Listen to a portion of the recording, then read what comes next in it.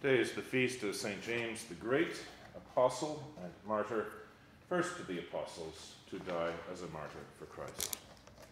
I will arise and go to my father, and will say unto him, Father, I have sinned against heaven and before thee, and am no more worthy to be called thy son. Let us humbly confess our sins unto Almighty God. Almighty and most merciful Father, we have erred and strayed from thy ways like lost sheep.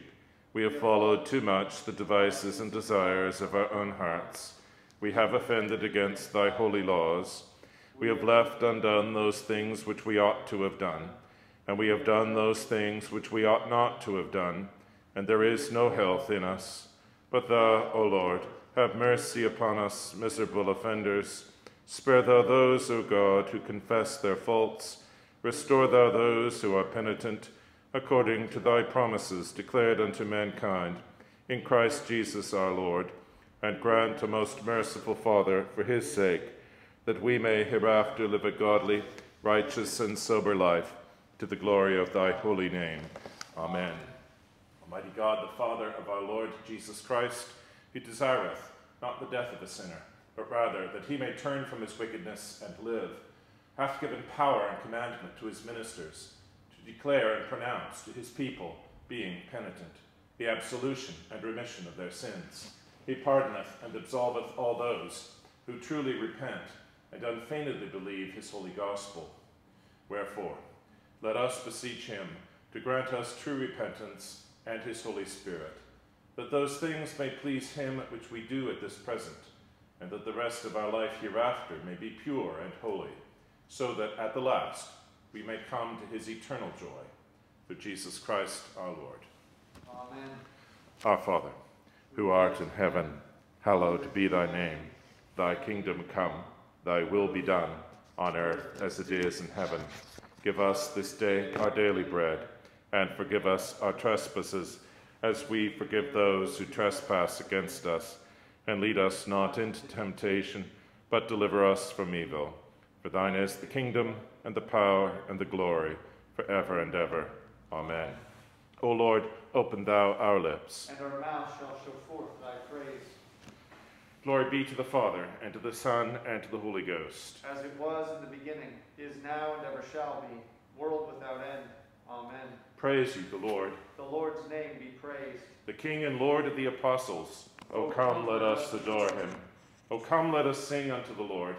Let us heartily rejoice in the strength of our salvation. Let us come before his presence with thanksgiving, and show ourselves glad in him with psalms. For the Lord is a great God, and a great King above all gods. In his hand are all the corners of the earth, and the strength of the hills is his also. The sea is his, and he made it, and his hands prepared the dry land. O come, let us worship and fall down, and kneel before the Lord our Maker. For he is the Lord our God, and we are the people of his pasture and the sheep of his hand. Today, if you will hear his voice, harden not your hearts, as in the provocation, as in the day of temptation in the wilderness. When your fathers tempted me, proved me, and saw my works. Forty years long was I grieved with this generation, and said, It is a people that do err in their hearts, for they have not known my ways. And to whom I swear in my wrath, that they should not enter into my rest.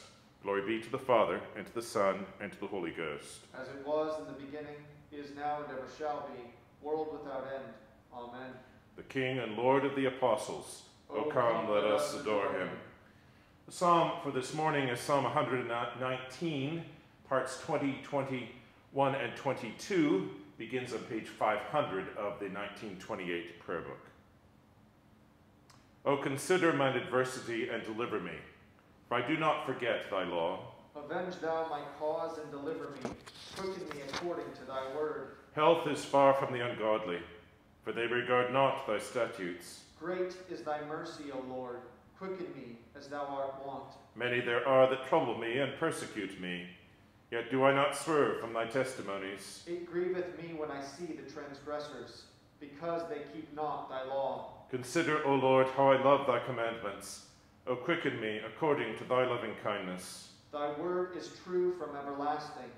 All the judgments of thy righteousness endure forevermore. Glory be to the Father, and to the Son, and to the Holy Ghost. As it was in the beginning, is now, and ever shall be, world without end.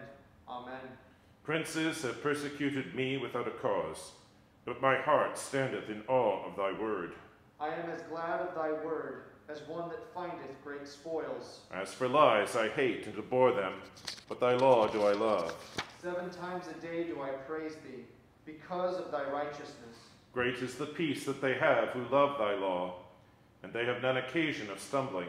Lord, I have looked for thy saving health, and done after thy commandments. My soul hath kept thy testimonies, and loved them exceedingly. I have kept thy commandments and testimonies, for all my ways are before thee. Glory be to the Father, and to the Son, and to the Holy Ghost. As it was in the beginning, is now, and ever shall be, world without end. Amen. Let my complaint come before thee, O Lord. Give me understanding according to thy word. Let my supplication come before thee. Deliver me according to thy word. My lips shall speak of thy praise, when thou hast taught me thy statutes. Yea, my tongue shall sing of thy word, for all thy commandments are righteous. Let thine hand help me, for I have chosen thy commandments. I have longed for thy saving health, O Lord, and in thy law is my delight. O let my soul live, and it shall praise thee, and thy judgment shall help me. I have gone astray like a sheep that is lost. O seek thy servant, for I do not forget thy commandments. Glory be to the Father, and to the Son, and to the Holy Ghost. As it was in the beginning, is now, and ever shall be, world without end. Amen.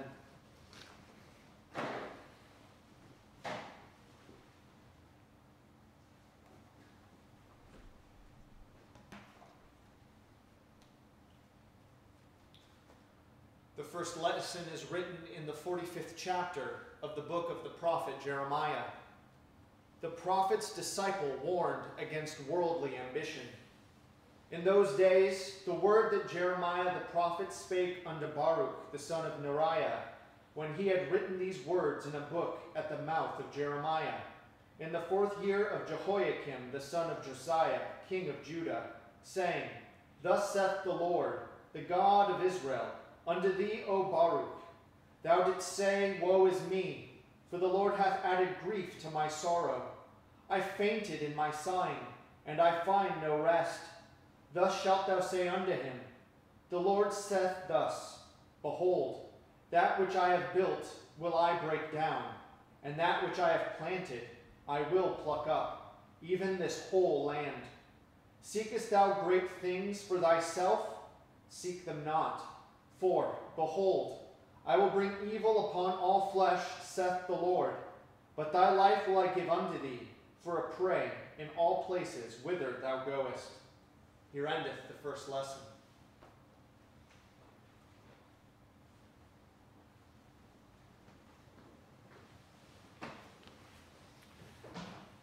We praise thee, O God. We acknowledge thee to be the Lord. All the earth doth worship thee, the Father everlasting. To thee all angels cry aloud, the heavens and all the powers therein. To thee cherubim and seraphim continually do cry. Holy, holy, holy, Lord God of Sabaoth. Heaven and earth are full of the majesty of thy glory. The glorious company of the apostles praise thee. The goodly fellowship of the prophets praise thee. The noble army of martyrs praise thee. The holy church throughout all the world doth acknowledge thee. The Father of an infinite majesty. Thine adorable, true, and only Son. Also the Holy Ghost, the Comforter. Thou art the King of glory, O Christ. Thou art the everlasting Son of the Father. When thou tookest upon thee to deliver man, thou didst humble thyself to be born of a virgin. When thou hadst overcome the sharpness of death, thou didst open the kingdom of heaven to all believers. Thou sittest at the right hand of God, in the glory of the Father. We believe that thou shalt come to be our judge. We therefore pray thee, help thy servants, whom thou hast redeemed with thy precious blood. Make them to be numbered with thy saints in glory everlasting. O Lord, save thy people, and bless thine heritage. Govern them and lift them up forever. Day by day we magnify thee. And we worship thy name ever, world without end. Vouchsafe, O Lord, to keep us this day without sin. O Lord, have mercy upon us, have mercy upon us. O Lord, let thy mercy be upon us, as our trust is in thee. O Lord, in thee have I trusted. Let me never be confounded.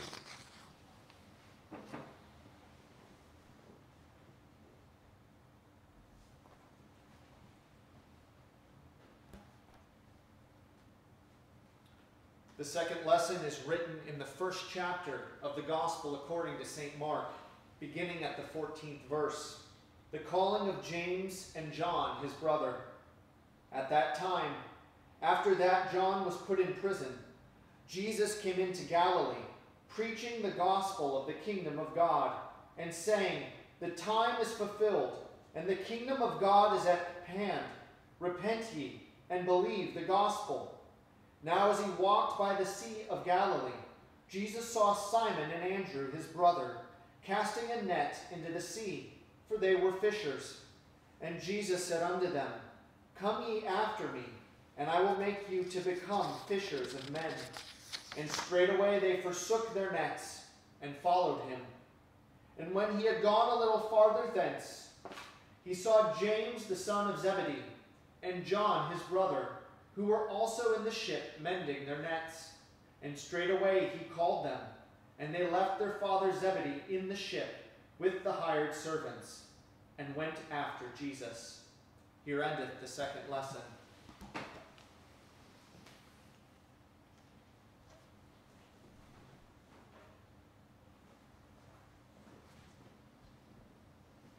Blessed be the Lord God of Israel for he hath visited and redeemed his people, and hath raised up a mighty salvation for us in the house of his servant David. As he spake by the mouth of his holy prophets, which have been since the world began. That we should be saved from our enemies, and from the hand of all that hate us. To perform the mercy promised to our forefathers, and to remember his holy covenant. To perform the oath which he sware to our forefather Abraham that he would give us. That we, being delivered out of the hand of our enemies, might serve him without fear. In holiness and righteousness before him, all the days of our life. And thou, child, shalt be called the prophet of the highest, for thou shalt go before the face of the Lord to prepare his ways. To give knowledge of salvation unto his people, for the remission of their sins. Through the tender mercy of our God, whereby the dayspring from on high hath visited us give light to them that sit in darkness and in the shadow of death, and to guide our feet into the way of peace. Glory be to the Father, and to the Son, and to the Holy Ghost. As it was in the beginning, is now, and ever shall be, world without end. Amen. The Lord be with you. And with thy spirit. Let us pray.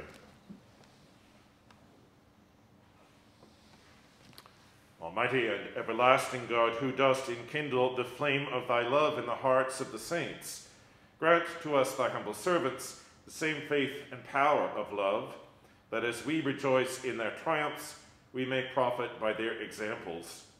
Through Jesus Christ, thy Son, our Lord, who liveth and reigneth with thee in the Holy Ghost ever, one God, world without end. Amen. O God, who art the author of peace and lover of concord, in knowledge of whom standeth our eternal life, whose service is perfect freedom, defend us, thy humble servants, in all assaults of our enemies, that we, surely trusting in thy defense, may not fear the power of any adversaries, through the might of Jesus Christ our Lord. Amen.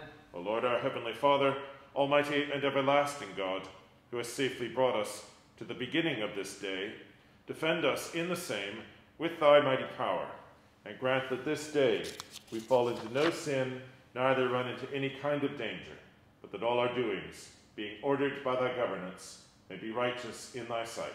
Through Jesus Christ our Lord. Amen.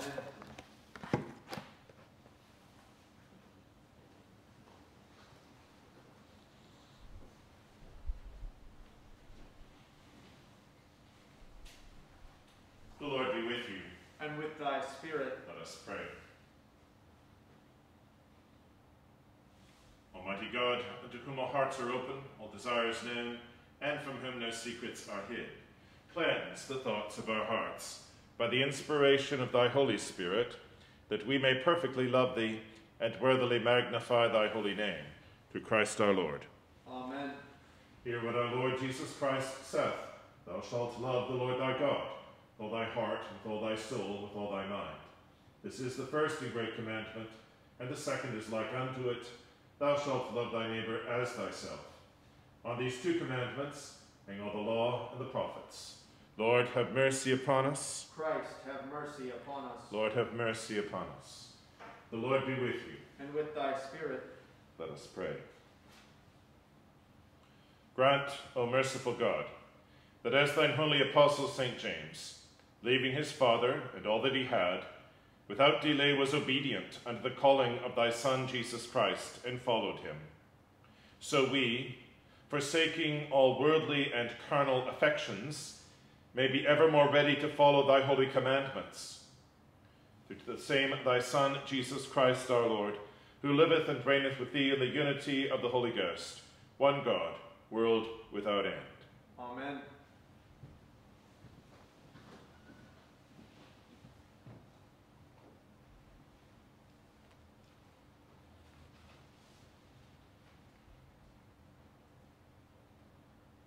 Lesson for the epistle is written in the 11th chapter of the Acts of the Apostles, beginning at the 27th verse.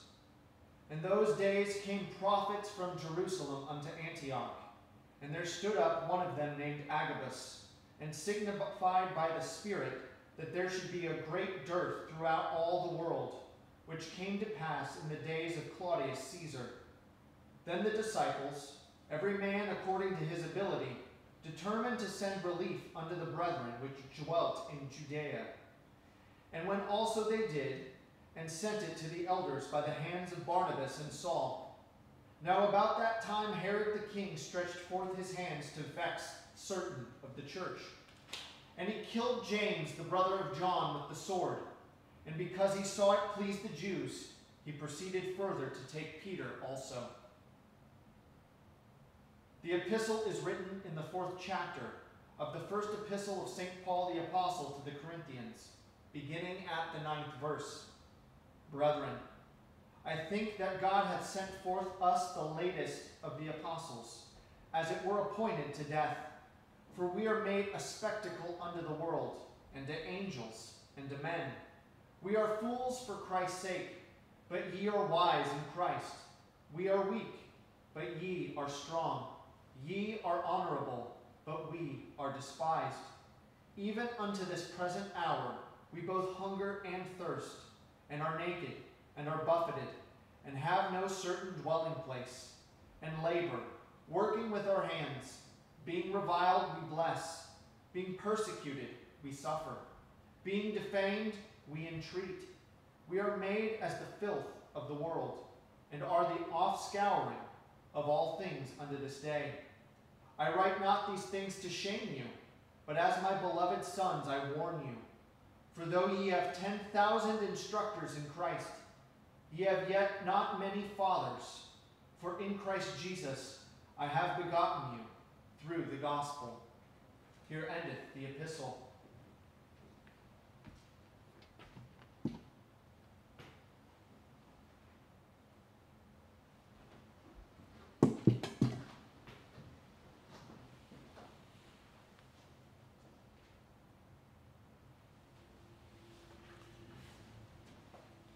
Holy Gospel according to St. Matthew in the 20th chapter, beginning at the 20th verse. Glory be to thee, O Lord.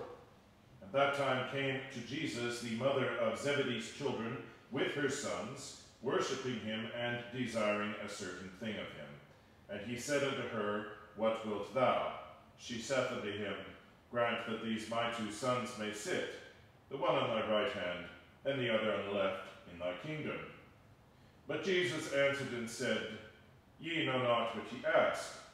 Are ye able to drink of the cup that I shall drink of, and to be baptized with the baptism that I am baptized with?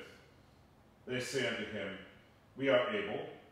And he saith unto him, Then ye shall drink indeed of my cup, and be baptized with the baptism that I am baptized with. But to sit on my right hand and on my left is not mine to give, but it shall be given to them for whom it is prepared of my Father. And when the ten heard it, they were moved with indignation against the two brethren. But Jesus called them unto him and said, Ye know that the princes of the Gentiles exercise dominion over them, and they that are great exercise authority upon them. But it shall not be so among you. But whosoever will be great among you, let him be your minister. And whosoever will be chief among you, let him be your servant. even as the Son of Man came not to be ministered unto, but to minister, and to give his life a ransom for many. Praise be to thee, O Christ. I believe in one God, the Father Almighty, maker of heaven and earth, and of all things visible and invisible, and in one Lord Jesus Christ, the only begotten Son of God, begotten of his Father before all worlds, God of God, light of light, very God of very God, begotten, not made, being of one substance with the Father, by whom all things were made, who for us men and for our salvation came down from heaven, and was incarnate by the Holy Ghost of the Virgin Mary, and was made man, and was crucified also for us under Pontius Pilate. He suffered and was buried, and the third day he rose again according to the Scriptures, and ascended into heaven, and sitteth on the right hand of the Father. And he shall come again with glory to judge both the quick and the dead, whose kingdom shall have no end. And I believe in the Holy Ghost, the Lord and giver of life, who proceedeth from the Father and the Son, who with the Father and the Son together is worshipped and glorified, who spake by the prophets. And I believe one Catholic and Apostolic Church. I acknowledge one baptism for the remission of sins, and I look for the resurrection of the dead and the life of the world to come. Amen.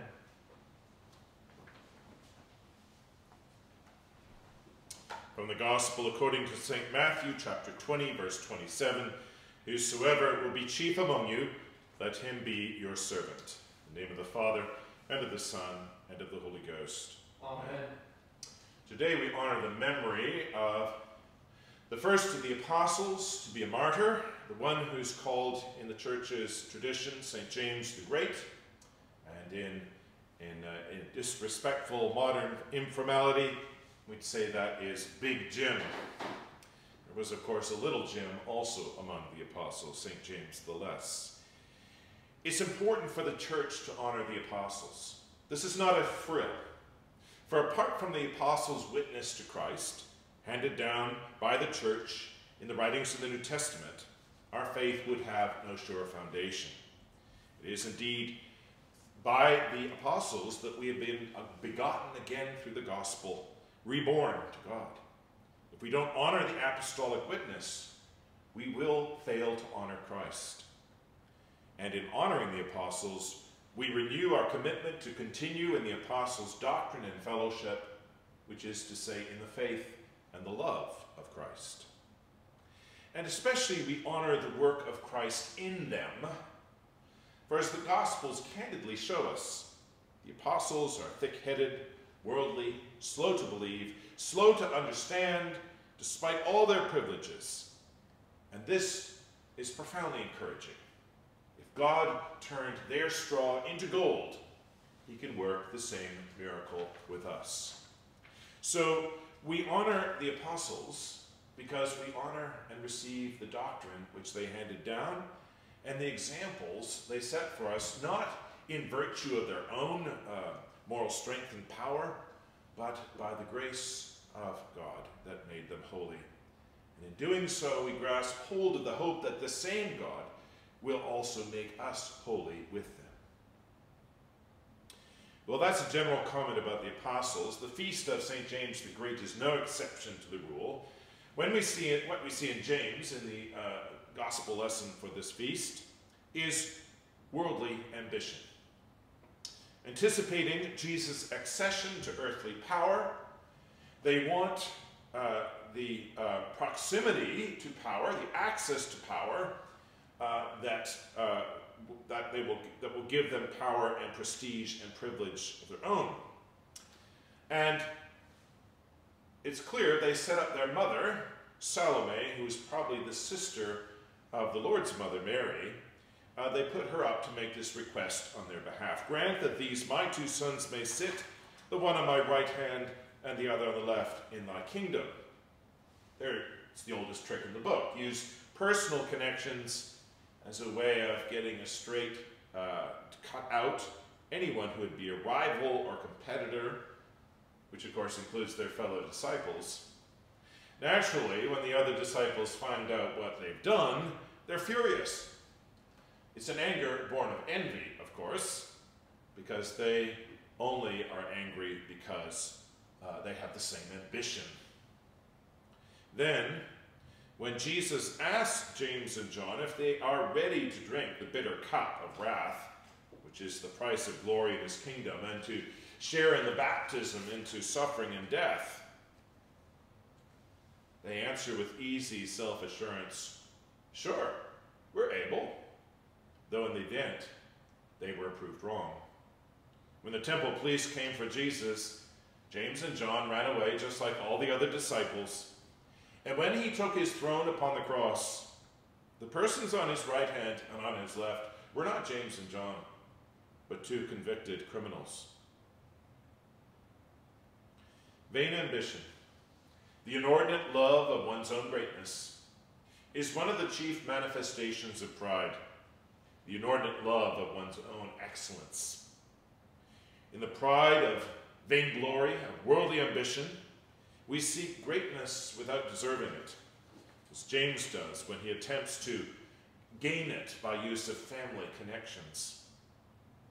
We seek greatness without acknowledging God's part in it, in presumption, as James does when he presumptuously and overconfidently claims he is able to drink the cup and to be baptized with the baptism that Christ is baptized with.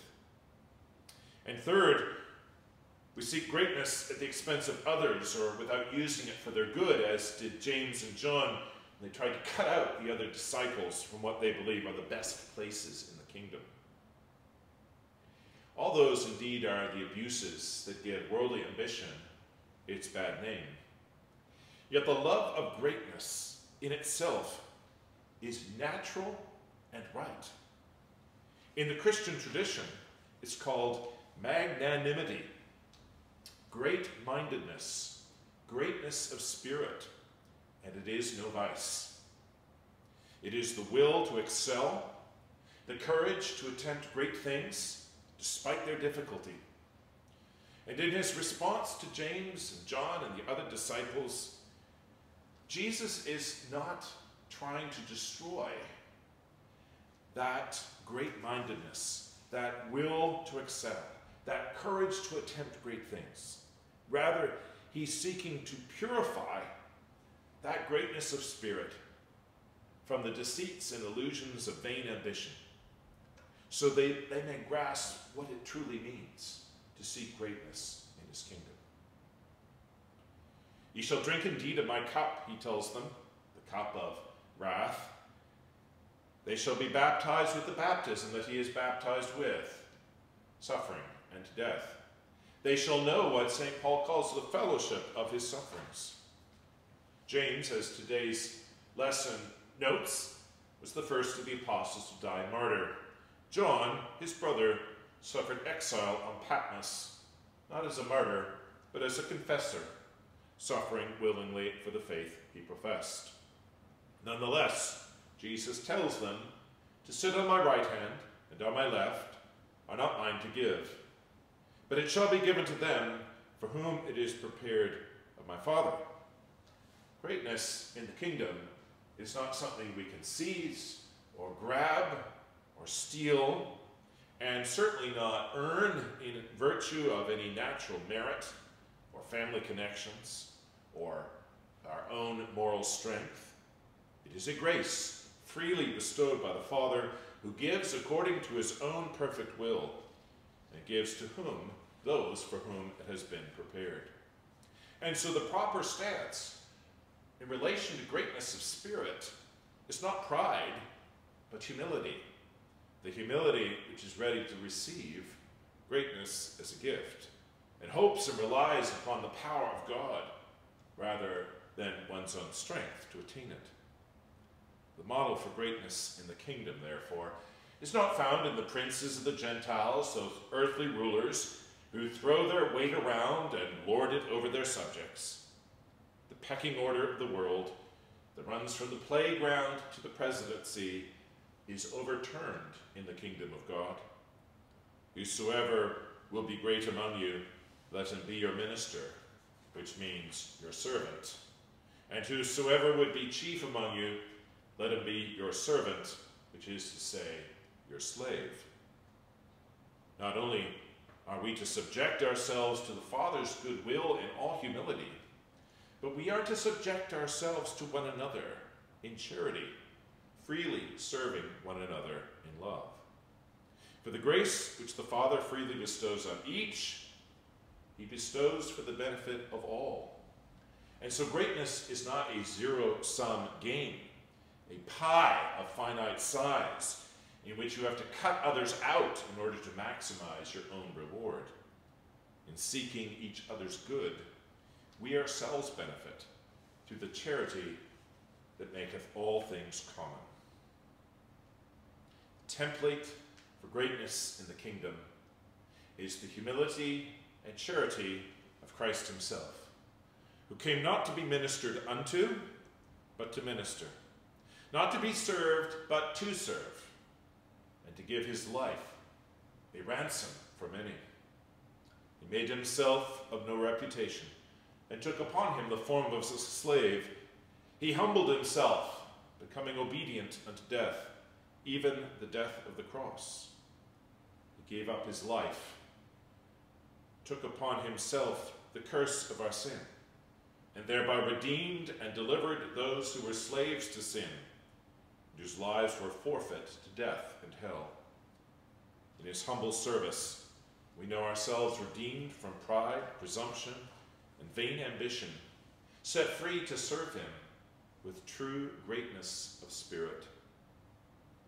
In the grace bestowed upon us in Jesus Christ, that it be our prayer that after the example of St. James, we may forsake all worldly and carnal affections, all vain ambition, and may be evermore be ready to follow the commandments of God in the way that leads us to the true greatness of his kingdom.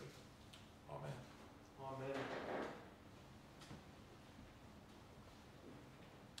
God is not unrighteous, that he will forget your works, and labor that proceedeth of love which love ye have showed for his name's sake, who have ministered unto the saints, and yet do minister. I bid your prayers today for the glory in heaven and honor in earth of St. James, the great apostle and martyr, for all those who bear his name, both churches and individuals, for grace to follow his example, uh, to share his faith, uh, to imitate his humility and charity, and to have the privilege of living and dying uh, for Christ. I bid your prayers for all those in leadership in our country, our county, our state, and community and churches, for wisdom and good judgment in this time of trial, for those who are ministering to their sick, and for our protection and deliverance uh, from disease, for all those who mourn, and every charity I bid your prayers for the repose of the souls of the faithful departed. Rest eternal grant unto them, O Lord. And let light perpetual shine upon them. May they rest in peace. Amen. Let us pray for the whole state of Christ's church. Almighty and ever-living God, who by thy holy apostle hast taught us to make prayers and supplications and to give thanks for all men, we humbly beseech thee most mercifully to receive these our prayers, which we offer unto thy divine majesty, beseeching thee to inspire continually the universal church with the spirit of truth, unity, and concord, and grant that all those who do confess thy holy name may agree in the truth of thy holy word and live in unity and godly love. We beseech thee also, so to direct and dispose the hearts of all Christian rulers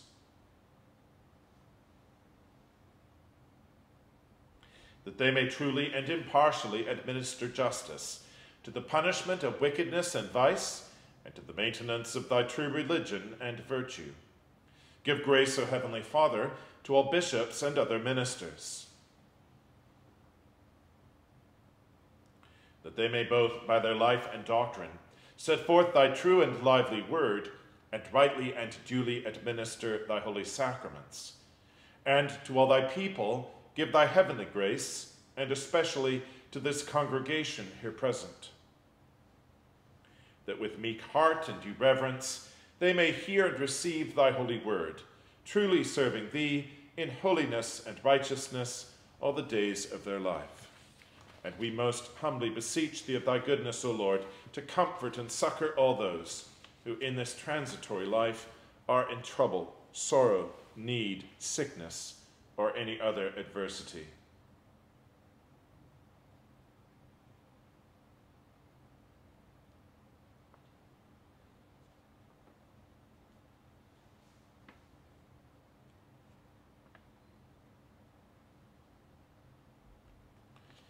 We also bless thy holy name for all thy servants departed this life in thy faith and fear.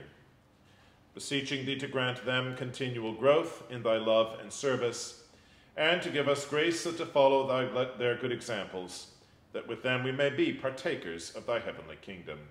Grant this, O Father, for Jesus Christ's sake, our only mediator and advocate. Amen. And now, as our Saviour Christ hath taught us, we are bold to say, Our Father, who art in heaven, hallowed be thy name. Thy kingdom come, thy will be done, on earth as it is in heaven. Give us this day our daily bread, and forgive us our trespasses, as we forgive those who trespass against us. And lead us not into temptation, but deliver us from evil. For thine is the kingdom, and the power, and the glory, for ever and ever. Amen. Let us pray. Almighty and ever-living God, we yield unto thee most high praise and hearty thanks for the wonderful grace and virtue declared in all thy saints, who have been the choice vessels of thy grace and the lights of the world in their several generations. Most humbly beseeching thee to give us grace so to follow the example of their steadfastness in thy faith and obedience to thy holy commandments, that at the day of the general resurrection we with all those who are of the mystical body of thy Son may be set on his right hand and hear that his most joyful voice, Come, ye blessed of my Father, inherit the kingdom prepared for you from the foundation of the world. Grant this, O Father, for the sake of the same thy Son, Jesus Christ, our only mediator and advocate. Amen.